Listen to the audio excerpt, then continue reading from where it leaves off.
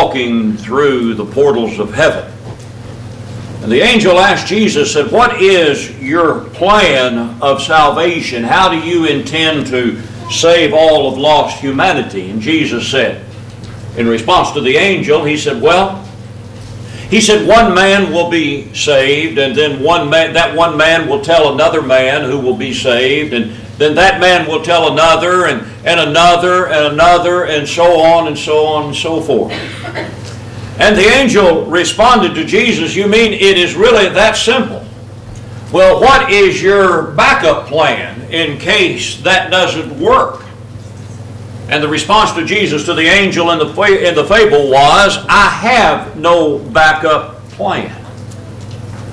And when you think about the Gospels, you think about what we often refer to as the Synoptic Gospels, that is Matthew, Mark, and Luke. Each one of them concludes the Gospel or their particular Gospel with this plan that Jesus just in the fable described to the angel. Matthew's account of the Great Commission is make disciples of all the nations baptizing them in the name of the Father and the Son and the Holy Spirit. Matthew 28, verses 19 and 20. In Mark's account, he puts it this way in Mark 16 and verse 15 Preach the gospel to every creature. The next verse says, He who believes and is baptized will be saved, and he who believes not will be condemned. In Luke's gospel, in Luke chapter 24, the commission is, some, is worded somewhat differently, but nevertheless it's the same. Verse 47 Repentance and remission of sin should be preached in His name to all nations beginning at Jerusalem. Now, the verses that were read by Logan out of Acts chapter 1, verses 1 through 3, is the beginning of that commission. It's the beginning of, uh, uh, of this commission being carried throughout the world. And this is exactly what we see throughout the book of Acts. As a matter of fact, in Acts chapter 28 and verse 31, which is kind of reminds me of Acts chapter 1 and verse 3. In that verse, we find that Paul is now in the city of Rome, and what he's doing is preaching the kingdom of God and teaching people about the Lord Jesus Christ.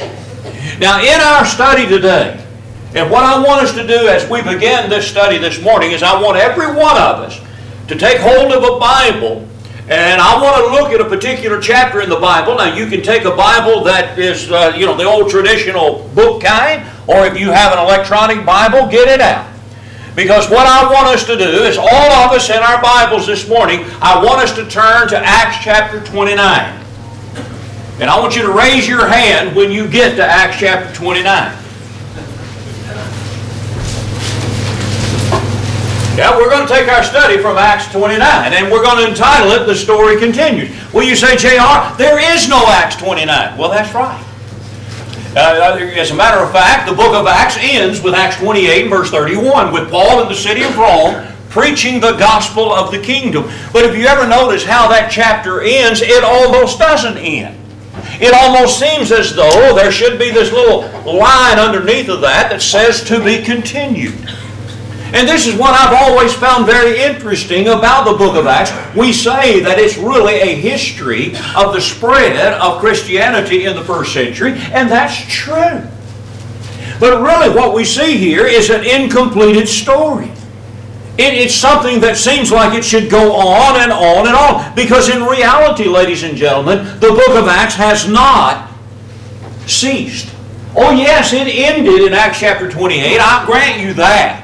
The Holy Spirit inspired Paul to lay down his pen of inspiration and the book closed. But in reality, the Great Commission continues on. The Great Commission continues on from generation to generation to generation. And ever since, ever since Acts chapter 28 concluded the book of Acts, it has been expected that every subsequent generation, as it were, not literally, but as it were, add to the book of Acts. And this is what I want us to think about. We need to be continuing because the commission has been passed on to every generation. Now I want you to think about some things. As we, can, as we consider the spread of Christianity in the first century, I want us to remember something. I want us to remember as the book of Acts begins in chapter 1 and verse 15, there were 120 disciples in the upper room in the city of Jerusalem. waiting for the promise of the Father that was made to the apostles. As we continue on in the book of Acts, we find in chapter 2 that then to that 120, there is an additional about 3 or about 3,000 added to that number. But stay in the book of Acts, you find that in chapter 4 and verse 4, there were about 5,000 men. And, and, and, there's nothing sexist about this, but at that time, the men, the heads of the household, were usually the only ones named. And so there could conceivably have been up to 15,000 that would have been included in this number. What we see is the church expanding. What we see is the church growing. What we see is the Great Commission being carried out in the first century. In Acts 6 and verse 7, I tell you what now, uh, Luke, the writer of Acts, he just stops using numbers now and he just says the number multiplied. Many thousands in Acts 21 and verse 20. And we find in, in, that the gospel in Colossians 1 and verse 6 had reached all the world. That is the Mediterranean world. In Colossians chapter 1 and verse 23, it had been tu- it had touched or been preached to every creature under heaven. Isn't that what the Great Commission was about? Preach the gospel to every creature. Mark 16 and verse 15. It has been estimated by the close of the first century there were more than 1 million Christians in the world. That would have been about 6% of the world's population. And so what you find here is the book of Acts, as it were, in literally, it closed with thousands upon thousands of people obeying the gospel and becoming Christians. But now this in and of itself is amazing. But I want you to consider something else that is, eh, that is amazing about this. When you think about the first century Christians and their spread of Christianity, they did this without having Sundays off. You know, we, we, we, we, we growing up in this country, this is something that we've been very accustomed to for most of our lives, that Sunday is a day that we're off from work it's a day that we can get together and we can worship God as it's often prayed without the fear of molestation. They didn't have that in the first century. They didn't have Sundays off. They did not have laws that were favorable to Christians. They weren't able to have tax exempt status for groups of Christians wherever they happened to be, or laws that would favor the spread of Christianity. They didn't have this in the first century. Furthermore, they didn't have comfortable church buildings like we have that would shelter us from the weather. They would meet under trees, they would meet down by the river, they would meet in, in private homes, wherever they could get together. These Christians met. They didn't have God fearing political leaders. You know, we have to acknowledge that even though maybe things are going downhill quickly in this country, there are still those political leaders who acknowledge that they do have a passing faith in God. That wasn't the way that it was in the first century world when the Christians were, where Christians were being made at the number that they were. They didn't have access to complete Bibles. You know, we talk about having Bible studies. That's a wonderful thing. They didn't have access. They couldn't say to a, uh, to a, con, uh, to a prospect they were trying to convert, hey, turn over to Acts chapter 22 and let me show you in verse 16 what to do to be saved. They couldn't do that. They didn't have complete Bibles. They didn't have religious books about Christ that you could go to any bookstore and find. They didn't have books detailing church growth, how to make a church grow.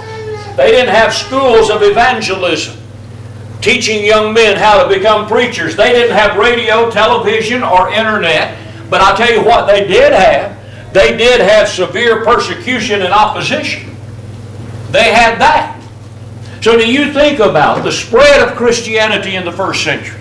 And that the book of Acts concludes in Acts 28 verse 31 with Paul in the city of Rome awaiting trial because he had appealed to Caesar. And what was he doing? He was preaching the kingdom of heaven and teaching people about Christ. And this was in, in, in face of all of these adversities. But I'm going to return to what we suggested a moment ago. And that is that God intends for us to continue doing exactly what those Christians were doing. And so what we're doing, ladies and gentlemen, is continuing the story.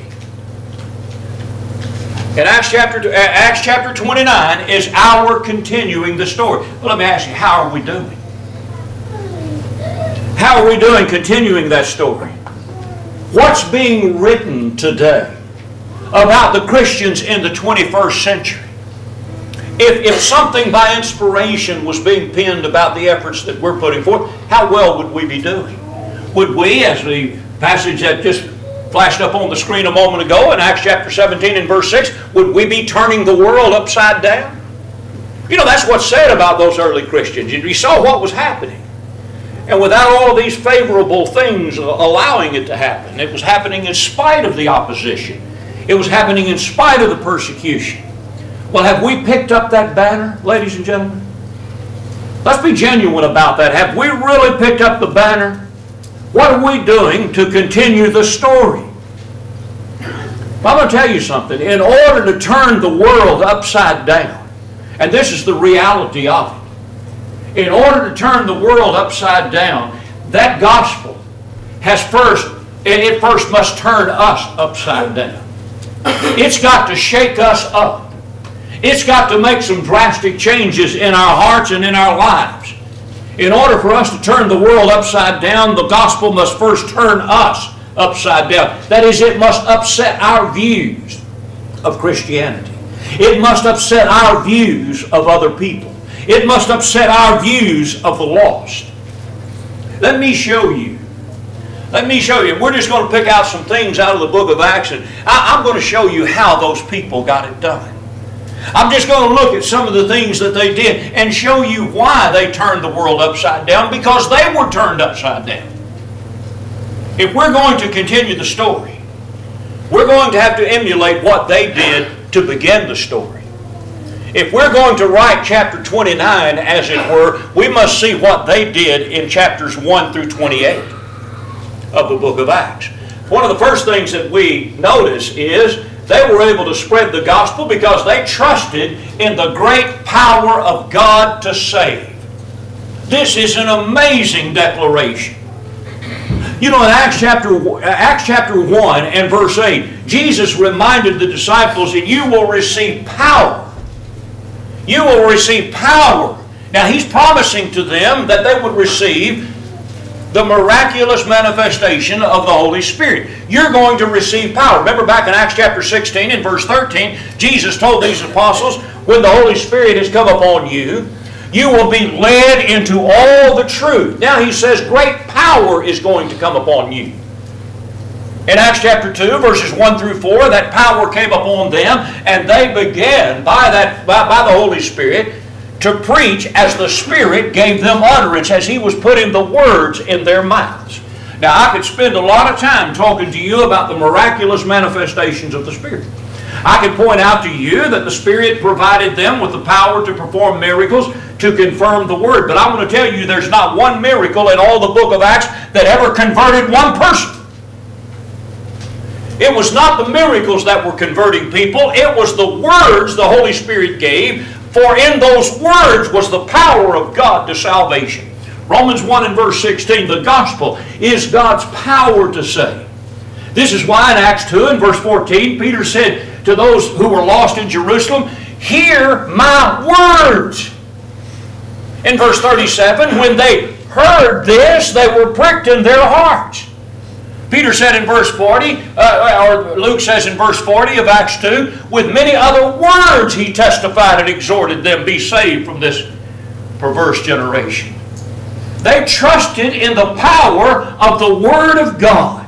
Paul said in, in 1 Corinthians chapter 1 and verse 18 that the message of the cross is foolishness to those who are perishing, but to us who are saved it is the power of God.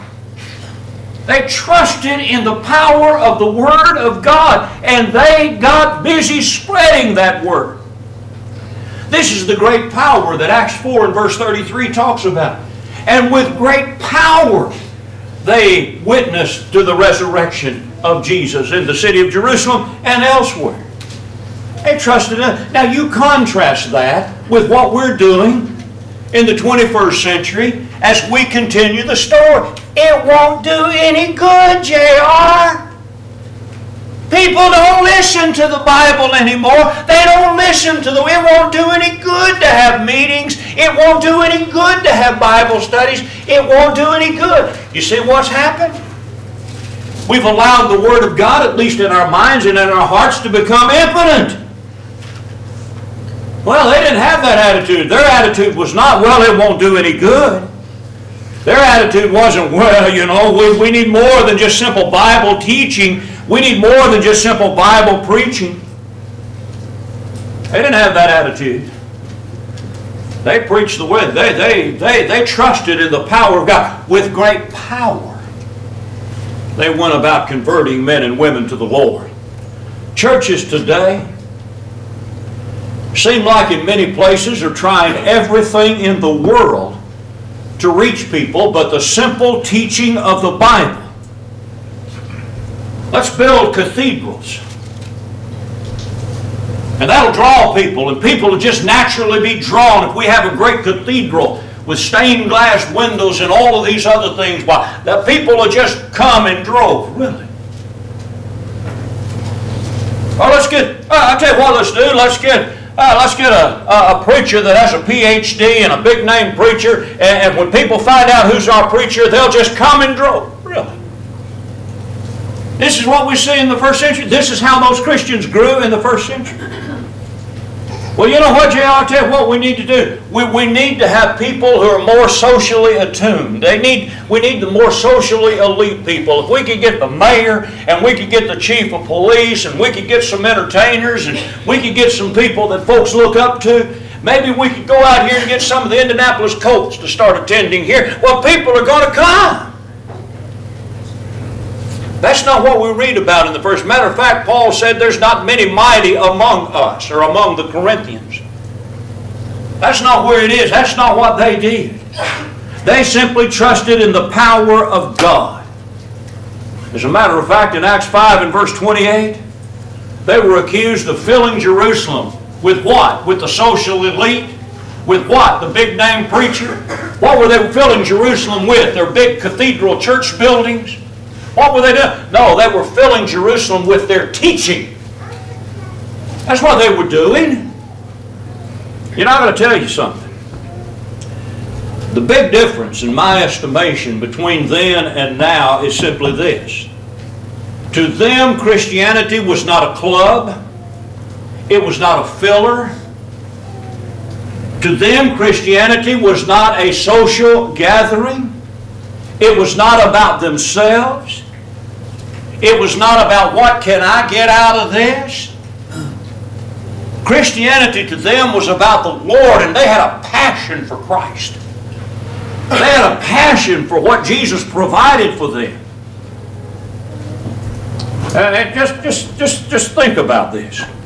They think about what the early church was called. You ever, you stop and think about that? Well, you say, well, you know, we, well, yeah, uh, the Church of God at Corinth, yeah. Well, yeah, it was called the Churches of Christ, Romans 16, 16, yeah. But do you know what it's called mostly in the book of Acts? It's called the way. The way.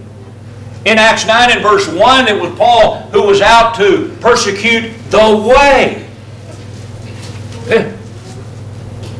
That doesn't, that doesn't whet your appetite. That doesn't cause you wondering about that. It was called the way.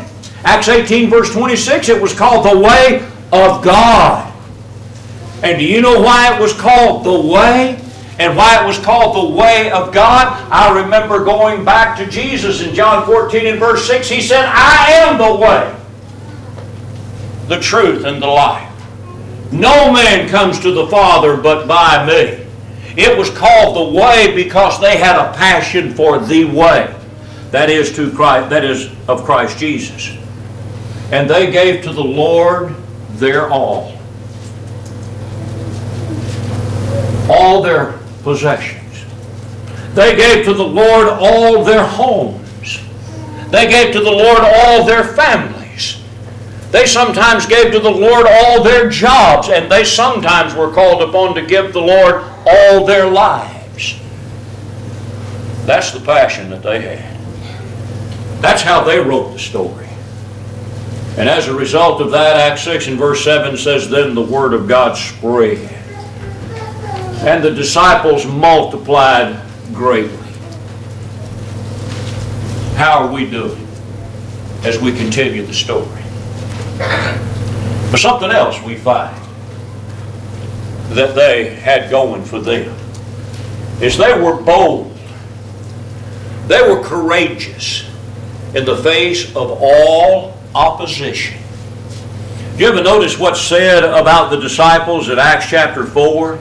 Yes, it says they were ignorant and unlearned men. Yeah, you know, they had been with Jesus and that's all that they had going for them. There's any question about that. But one, one other thing that says of them is that they were bold. Verse 13, Acts 4. Now, when they saw the boldness of Peter and John, and they perceived that these were uneducated and untrained men, they marveled, and then they realized that they had been with Jesus. And you read later on in that chapter, they were in, you know, they were having a lot of things happen to them. One of the things that they did when all of these things began to happen is in verse 29, it says of Acts chapter 4, they prayed to the Lord and said, Now, Lord, look on their threats and grant to your servants that with all boldness they may speak your word. And I want to tell you something, my friends. They had courage. They were not afraid. It was as though when they went out in the city of Jerusalem and preached, even though they'd been told, you know, keep your mouth shut, don't say another word. If you say another word about Jesus, we're going to put you in jail. And you know, that just, it, almost, you, you read it, it almost sounds as though they said, well, you know, bring it on, we're going to preach. You're going to lose your job, bring it on, we're going to preach. Hey, you may, you, you may be eliminated from this, bring it on, we're going to preach. They had boldness. Now, sometimes I grant you that this, you know, opposition would cause somebody to become a little bit squeamish. And, and this may be why Paul in Ephesians 4, verses 18 and 19, reminded the Ephesians, hey, you pray for me. When these doors of opportunity open, you pray for me that I may have the boldness that I ought to have. And I'm going to tell you, ladies and gentlemen, they had it. Our culture, our generation, our society is so geared toward not offending someone that we have created a generation of cowards when it comes to spreading the gospel. We're afraid. And we need to read Revelation 21 and verse 8 that talks about the cowardly will not be included in heaven the cowardly, that is, those who are timid. You know, sometimes we're, we're afraid to talk to family members. We may have a son or a daughter that's not living right. We may have an in-law that's not living right, a husband or a wife, mother or a father, and we're afraid to say anything to them. We're afraid we're going to upset them. We're afraid we're, they're going to get offended in what we're saying. You didn't read about that in the first century. Uh, as far as the first 28 chapters of the book of Acts were concerned, they were bold. I remember talking to an elder a number of years ago when I was living in another state. He was telling me, well, really, we began talking about some of the trips that he and his wife were taking with a couple, uh, the man he used to work with in his secular employment. And, and I asked him, I asked this elder, I said, well, you know, I don't know those folks. Are they, they members of the church? No, no. He said, they're, they're, they're not members of the church. And he said, as a matter of fact, he said, we've been friends for many years. And he said, our friendship is too good to put a strain on it by talking about religion. So I don't want to do anything that strains that friendship so we don't bring up religion. Now, do you think that's the attitude those first century Christians had? Well, you know, I, I, got a, I got a friend over here that works for Felix, and I've got a friend over here that works for Agrippa, so I, I don't want to do anything to jeopardize that friendship. You think this was the attitude that they had? No. They were bold. Bring it on. We're going to tell you about the Lord. But we're raising our children to be afraid. That is to be afraid to be different. From children they go to school with. You know, the Bible tells us in 1 Peter chapter 4 and verse 4 that people in the world are going to view us as strange. They're going to think it's strange that you don't run with them to the same excess of riot. They're, people are going to look at you and you don't do that? I think I've told you before when I was working, I was working for Ford Motor Company in Louisville. And there's a lot of guys that, you know, I'd be associating with on, on the job and things like that. And sometimes after work, these fellows want to go out and they'd want to stop by a neighborhood bar and they'd want to get some drinks and, and this, that, and the other. And they, they, they just love coming to me and inviting me to go with them. And I said, fellas, how many times I'm going to have to tell you, I don't drink, I don't smoke, and I don't do the other things that you do as far as your infidelity to your wives are concerned. I don't do that. And I had a fellow stand up to me one time and he said to me, he said, I tell you what, Bronger, he said, you, he said, you don't drink, you don't smoke, you don't run around with women. He said, one of these days you're going to lose your mind. You're going to go crazy. I, I, tell you something now. You know, a lot of times we don't want to be thought of as crazy. We don't want to be thought of as being odd, and we don't want to be thought of as being different because we're afraid. We lack boldness. We don't want our children to be ostracized at school, so we'll allow them to participate in the Christmas programs.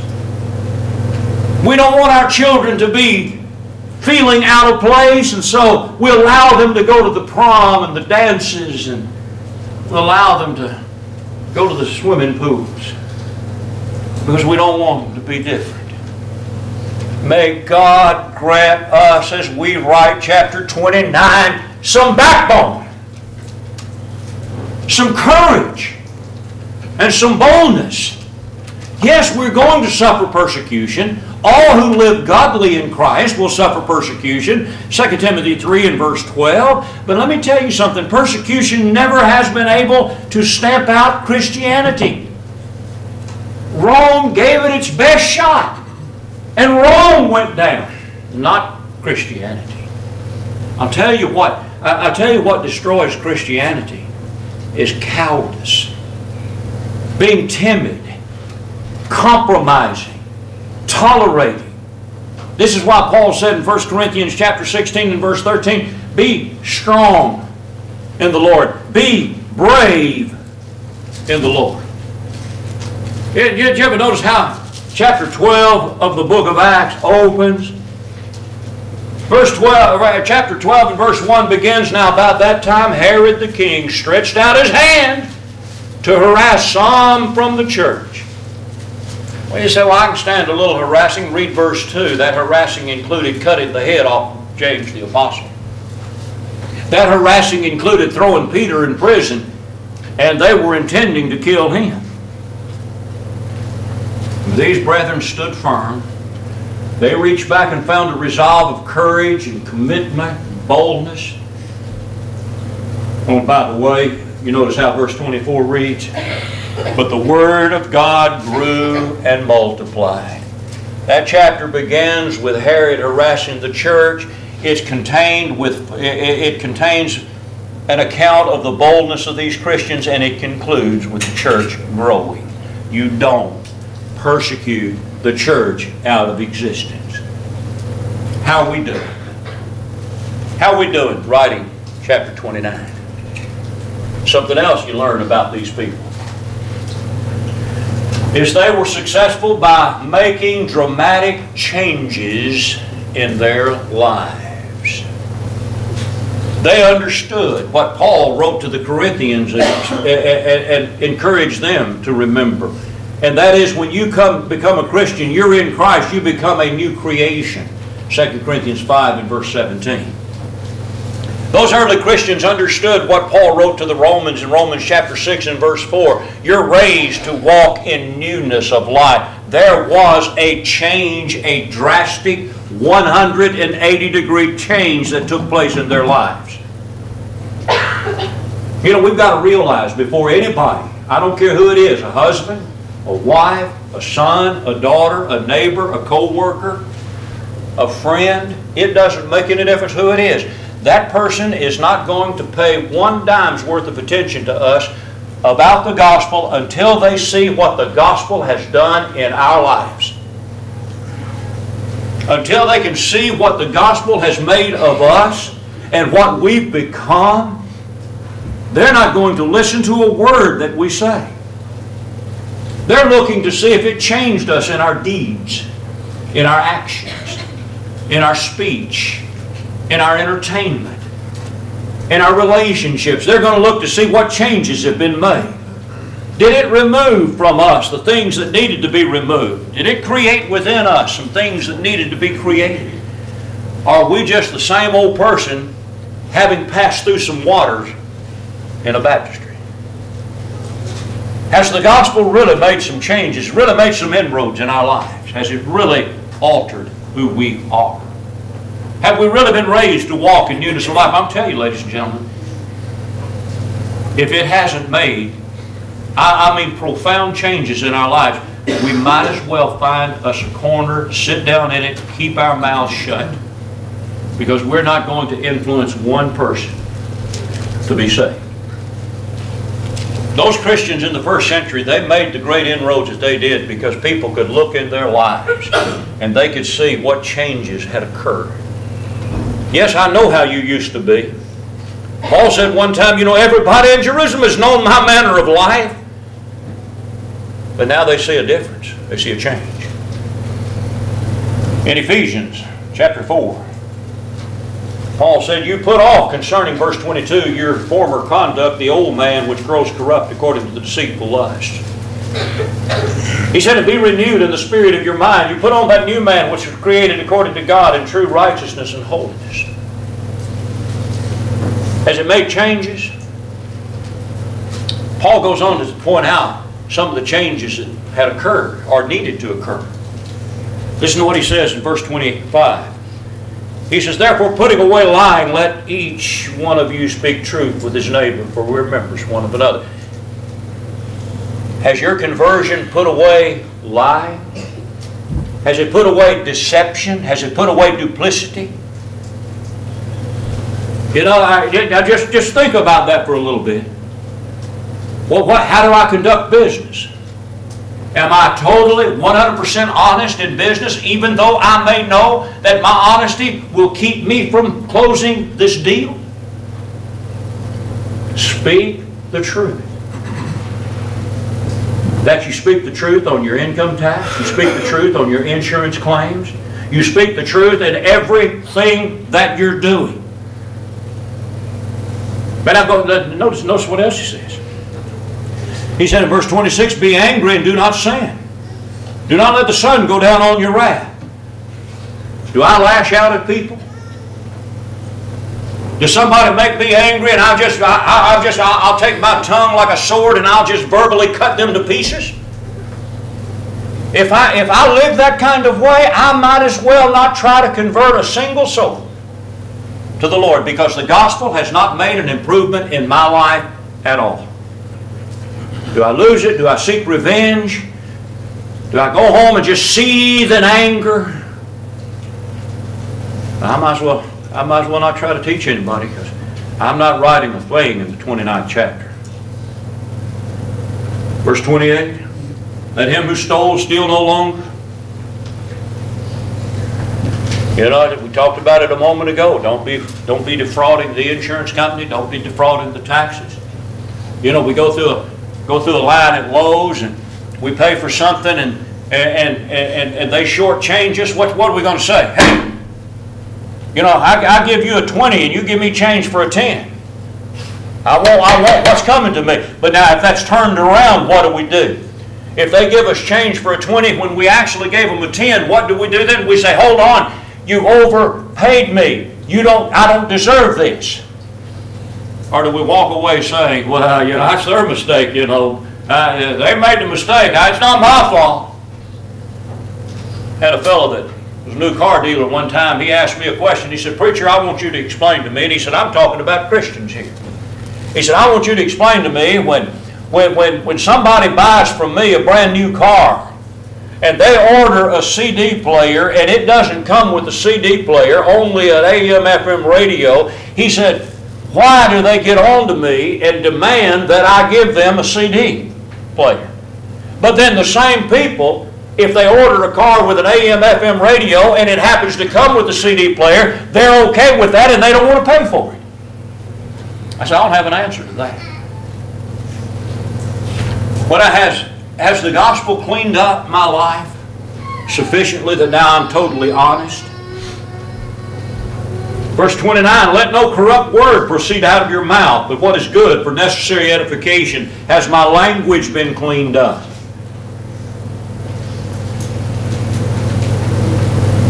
Is the way that I talk to my wife and the way that I talk to my children indicative of that clean up language. You know, I'm going to tell you, there are a lot of Christian men who speak to their wives in such a way that if they spoke to another man on the job that way, that other man would just beat them within an inch of their lives. But those poor Christian women suffer in silence because the gospel hasn't done for her husband what she hoped that it would do. If the gospel doesn't change you, no one is going to listen to anything that you say. I remember young fellow one time coming to me wanting, wanting me to give him some Bible verses how he could talk to his girlfriend about the church. She's a member of a denomination. He said, now, preacher, I'd like for you to give me some verses here that's going to help me in my teaching my girlfriend. Well, the time that we studied together, and I started giving him some verses to help him in his study, eh, I come to find out that they were sleeping together. You mean to tell me you committed fornication with this girl, but you're concerned about her being a member of a denomination? Something's not calculating here. There's some disconnect here. You know, in Acts chapter, we mentioned this a moment ago, Acts chapter 9, opens with Saul of Tarsus, you know, breathing threats and murders against the Christians. He was out to persecute Christians. Eh, I mean, he was hauling them and putting them in jail. He was converted. He made a change in his life. But you know, people wouldn't trust him until they knew that change was real. Barnabas in verses 26 through 28 had to come to his defense. No, folks, he's really changed. And when they saw that, they trusted him. And that's the way it is with us. Unless people see changes in our lives, they're not going to trust anything we've got to say. They're not going to trust any, anything that we've got to offer. Those Christians in the first century, throughout the book of Acts, man, I tell you what, you look at their lives and there were a world of difference. This is the way they used to be. This is the way they are now. How are we doing? How are we doing in chapter 29 as the story continues? And then, those early Christians were successful because they reached out to all the lost, regardless of who they were. Regardless of the condition of their lives, they reached out to them. You know, Peter said by inspiration in Acts chapter 2 and verse 39, and he didn't fully comprehend the profundity of his statement. But he said, you know, the gospel is not just for you, but for you and your children, to as many as the Lord our God shall call. That's the promise that had been made. It's, it's going to include everybody in the world. And those early Christians, they accepted that. And regardless of a person's color, regardless of a per person's ethnicity, and regardless of a person's sin, they took the gospel to that person.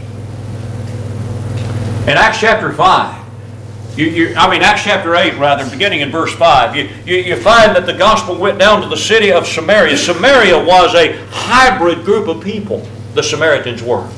They were hated by everybody, and yet the gospel reached them. And they obeyed, a good church was established in the city of Samaria. Because those people were not discriminated. You stay in Acts chapter 8 and you find, you find the gospel reaching an African. I tell you, when Philip joined the Ethiopian in the chariot, he didn't see the color of the man's skin. He saw the color of the man's soul and it was stained. And he took the gospel to him. Acts chapter 10, it went to the, it went to Cornelius, to the, to the Gentiles. It didn't stay in Jerusalem. You know, these people were, it went to Felix, it went to Agrippa, it went throughout the world. It went to people who were involved. They say, you know, today, today I'm afraid sometimes in, in, in our writing to this, we, uh, writing this continued story, we, we, we arbitrarily decide that someone is unworthy of the gospel. But when we decide that someone is unworthy of the gospel, then, then we're, we're sinning. I'm not going to talk to him. He doesn't look like me. I'm not going to talk to her. She's a different color than I am. I'm not going to talk. Hey, I'm not going to talk to this, this person over here. Why, with somebody, that's a Jehovah's Witness. I'm not going to talk to them. I'm going to slam the door in their face. Well, it won't do any good to talk to him. He's been married three times. Well, it's not going to do any good to talk to her. She's a lesbian. Really? This is the attitude that we ought to have when it comes to the God. You read 1 Corinthians chapter 6. Paul said that some of the Corinthians were murderers, homosexuals, adulterers, fornicators. Gospel reached them. They made some changes. No, they didn't stay in that sin or those sins. They came out of those sins. Because the early Christians took the gospel to people regardless of their color, their ethnicity, or their sin. Well, somebody said, well, they won't listen. How do we know?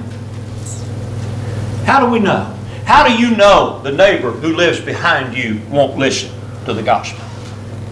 How do you know the person that works with you won't listen to the gospel? Now, some may not, but you will not know that until you try to reach them with the gospel. Paul was put in prison. As a matter of fact, historians say that he was actually literally chained to two guards on either side of him. And the guards were the elite. I'm telling you, they, they, they were they, these guys. They were the Navy SEALs of the first century. They were Caesar's Praetorian, Praetorian Guard. And I mean, they were the elite. And so, you know, Paul could have looked at him and said, well, you know, all my work is done.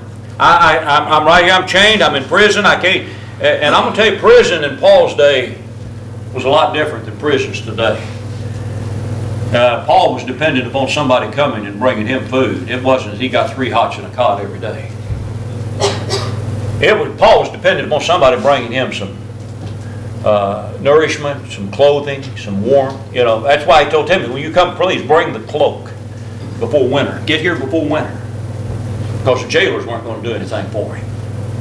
But what did Paul do when he was chained to those guards? Well, you read Philippians 1, and it looks like he taught them the gospel. He taught those of Caesar's household the gospel of Christ. Because Paul recognized that the gospel is for all. All souls are precious to the Lord. How are we doing? Do we understand that the gospel is for the homeless as well as the billionaire? It's for the black as well as the white? It's for those who've been raised in good families as well as those who've been raised in bad families. Do we understand that? 21st century, Christians better be diligent in reaching out to the lost. That's the only reason why we exist as a local congregation. So, Acts 29. The story continues. How we do it. You know, there's a song that we sometimes sing Christ has no hands but our hands to do his work today. He has no feet but our feet to lead men in the way. He has no tongue but our tongue to tell men how he died. He has no help but our help to bring men to his side. How we do it? Right. 29th chapter of the book of Acts. Maybe we need to do some serious, serious soul searching. Make some changes internally that will result in changes externally in our lives. I tell you, I don't know about you. But I recognize I need to make some changes. Chances are you do too. Let's get serious about this thing. called Christianity. And let me challenge you today that if you're not a Christian, you need to get serious about it right now. There's nothing more precious that you own than the soul that God has given to you. Don't exchange that for a few years of fleeting, passing pleasure upon this earth. Be serious. Commit your life to the Lord, genuinely, sincerely. If you believe Jesus is the Christ, the Son of God, repent of your sins, turn from them. Confess your faith that Jesus is the Christ, the Son of God. He's now going to be the captain of your ship. And be baptized in water for the remission of your sins and do what? Be raised to walk in newness of life. And then you join with us in spreading the gospel to as many as we can reach. If you're subject to the invitation, why don't you come right now? Together we stand